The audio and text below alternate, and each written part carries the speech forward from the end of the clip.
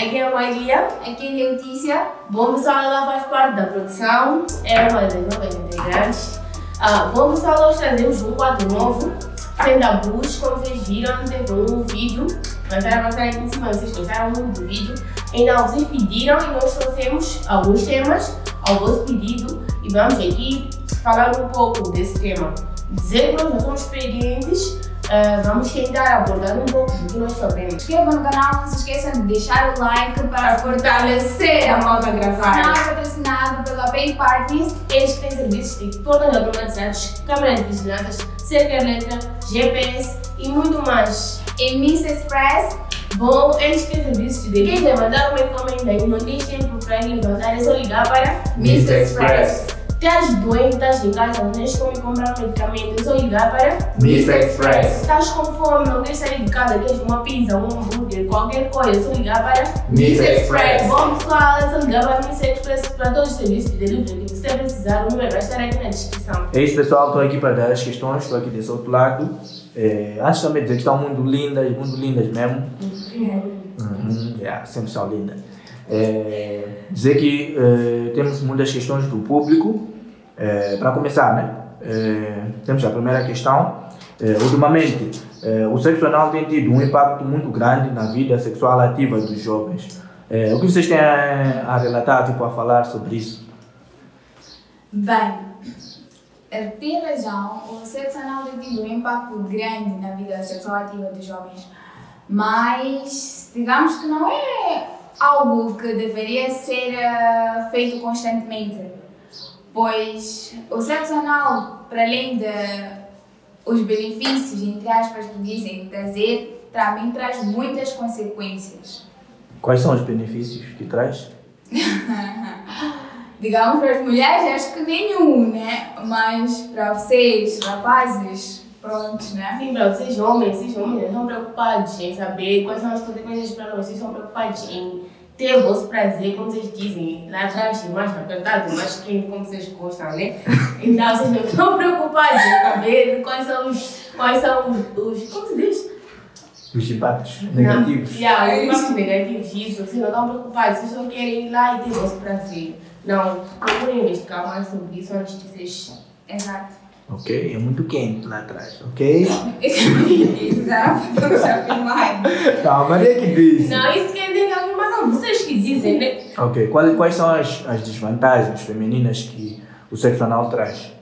Para além da contração de, de doenças como as DDS, uh, as infecções, também pode ter causadoras de gonorreias. Que e causam muito desconforto. Exatamente.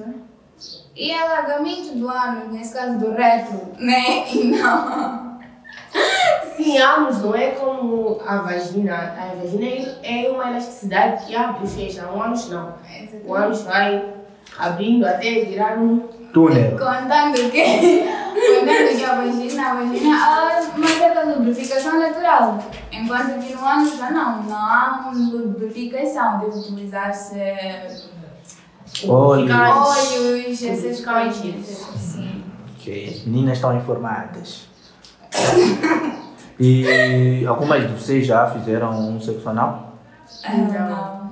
Pretendem fazer, se calhar, futuramente? Não. Oh, que bom, positivo. Bom, meninos, dizer para vocês que não devem pôr pressão pelas namoradas, a visitar lá atrás. Tem outros que dizem, tipo, e amor, vamos fazer lá atrás, não sei o quê. Eu tenho muitas amigas, já tive muitas, muitas experiências, tipo, chegarem para mim, tipo, sim, meu namorado está me pressionar porque quebrou dar o cu, não sei o quê. Desculpa.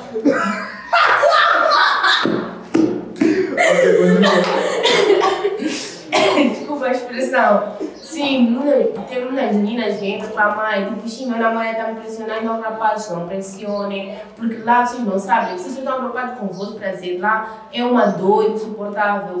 Eu acho que se as meninas não sentem dores, elas estão. Tem meninas loucas que amam os namorados, já teriam gostado há muito tempo, mas não é uma dor insuportável. Eu não sei, eu nunca senti essa dor, mas dizem, né? São testemunhos. Exatamente. Contando que você deve estar relaxada, sua parceira deve estar relaxada para poder fazer o ato. Porque digamos que o ânus né, tem, tem, tem dois pontos positivos e negativos. Tem a parte voluntária que chama de esfinte, algo parecido, que é a parte externa do ânus, em que vai de acordo com o seu movimento, aquilo que você faz, aquelas brincadeiras que você faz com o seu ânus. Enquanto tem a parte interna, essa parte interna que realmente é, é a causadora de dor. Se a mulher está tensa, automaticamente o esfíncter dela interno vai fechar-se. Uhum. Enquanto se ela está relaxada, ela vai abrir-se normalmente porque ele também vai ficar relaxado, porque é um ponto nervoso no reto que faz que provoque essa dor. E contando que as brincadeiras que os rapazes gostam de fazer no ato sexual anal, de pôr na vagina, depois tirar, pôr no ânus, isso contrai doenças. Não façam isso. Primeiro, já é errado estar a fazer o sexo anal, porque no ânus não há lubrificação. Segundo, porque vais levar bactérias do ânus para pôr na vagina. Vai assim como a vagina para o ânus. Exatamente. Mas como atualmente isso já é um assunto muito normal, né? Fazer Sexo oral. É, será que é obrigatório numa relação? Não, não é obrigatório, mas é necessário. E por que, que é necessário? Oh, porque faz parte do sexo, né? É tipo, é como entrada, né? Depois vem o prato principal. É que não é preliminar assim, vamos dizer. Mas só faz quem quiser, quem tiver vontade. Não é obrigatório fazer. Então. Mas é, é, é uma forma. Eu acho que quem não gosta disso, mas tem muita gente que tem nojo. Tem muita gente que de fazer isso, principalmente mulheres, meninas têm muito nojo de tipo fazer um famoso broche, que é muito nojento e não fazem. Mesmo tanto como rapazes também têm nojo de fazer, ninguém das suas meninas, mas isso é, é bom, faz parte. Sim, apimenta mais, né? Apimenta a relação. Não só, né? É, digamos que é o prazer mútuo, né? De, dos dois parceiros aí na hora, não essas coisas. Então, será que é obrigatório fazer o sexo oral, é, mesmo não gostando? Não é obrigatório. Não é. Se não gosta, não, não faz. Mas esse não querer, esse que eu quero dizer. Não é obrigatório fazer, mas é necessário, porque faz parte, tipo, mesmo para tu alcançar o famoso orgasmo. Isso também faz parte, porque a pimenta dá mais prazer, ficas mais excitada, tá no momento fica mais excitado, então faz parte. Exato. E quais são as desvantagens de um sexo oral? Inúmeras. Uma delas é a contração de herpes.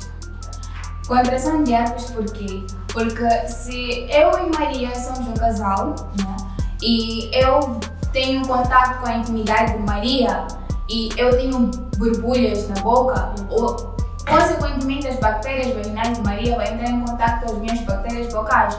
E isso não só vai me causar infecções na boca, assim também como pode causar na Maria, na, Maria, na sua vagina, ou no pênis do seu parceiro. Então, Yeah. E algumas vantagens. Será que existem vantagens por fazer? Ou as vantagens são, ou as vantagens são aquelas que mencionaram de prazeres e tal? Tem muitas vantagens. Experimentem, vão gostar. Bom pessoal, como já sabem, subscrevam o canal, deixem aquele like e deixem aí nos comentários outras perguntas, o que vocês mais querem saber eh, mais coisas para nós trazer aqui no canal. E pessoal, moças, moços, meninas, meninos, saibamos fazer o brosca enquanto mineta. Saibamos. Uh, como se diz? provocar. saibamos satisfazer os nossos parceiros. Aprendam, investiguem mais. Não há nada melhor que Pessoal, usem preservativo, vocês vão dar vida se vocês usem preservativo. Vamos, vamos prevenir doenças. O HIV está muito alto no índice, no índice juvenil, então vamos usar preservativo, vamos nos precaver, vamos nos prevenir. E é isso. Contando que Moçambique está no topo dos países com mais infecções, com mais vírus de HIV, principalmente nos jovens, que acham que fazer sexo sem preservativo é uma aventura, mas uma aventura que não só pode trazer gravidez, assim como também, também doenças. Eu sei que doenças vida, iniciais. acho que não mudou, mas vamos você fazer. Bem, temos a última questão, né? É, será que engolir o esperma deixa o parceiro satisfeito? Deixar o parceiro satisfeito? Deixa. Porém, não é Não é saudável. Não é nada bom Então- para ambos. Não é saudável? Como assim? Tipo, não é bom fazer. Tem quem diz que é bom engolir esperma, outros falam o quê? É bom pra bebulha, pra não sei o quê, mas não é bom a minha coleção. Tipo, não é bom, não é saudável e não é aconselhável. Porque, tipo, tudo que tem a ver com a secreção, seja no pênis, assim como na vagina, não deve se engolir, porque pode trazer várias consequências, várias doenças. Por isso ficam doentes, não sabem de onde surgiu as doenças, por causa desse tipo de ato. Bem, então será que a minha produção já engoliu o esperma? Não tô aqui pra falar da minha vida. Dar as minhas palavras? Isso dá para desconfiar. Dá para desconfiar, acho que já engoliram. Mas ok.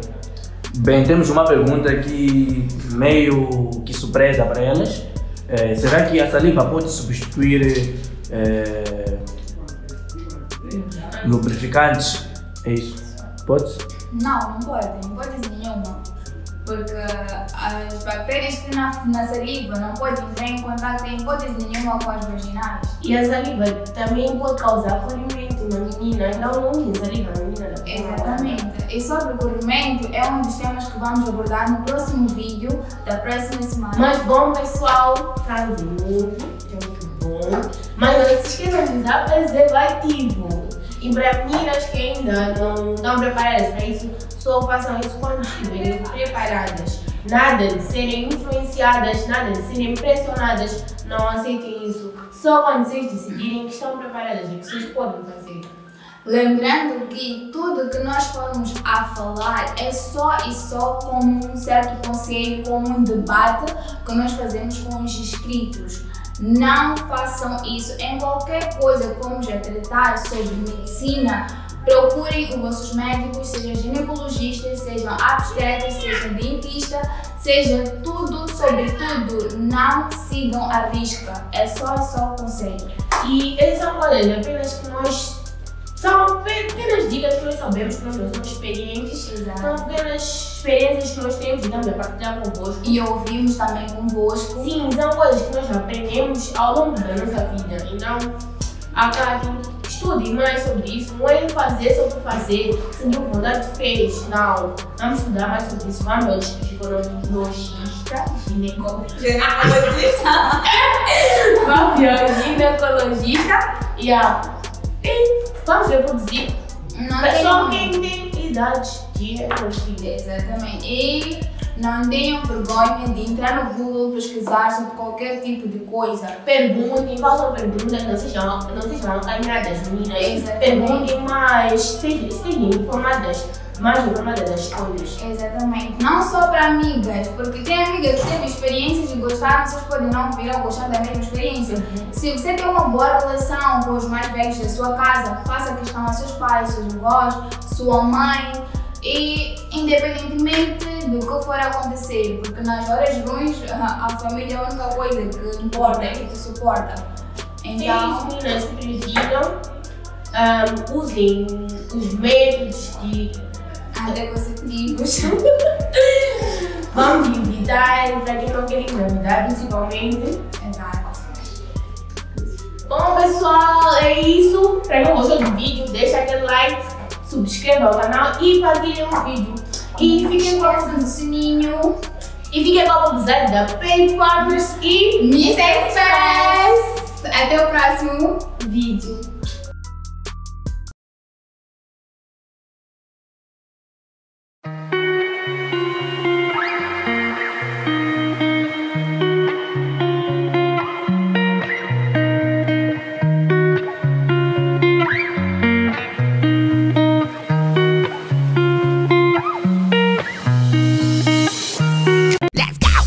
P Partners Limitada, Computer Network and Security Solutions.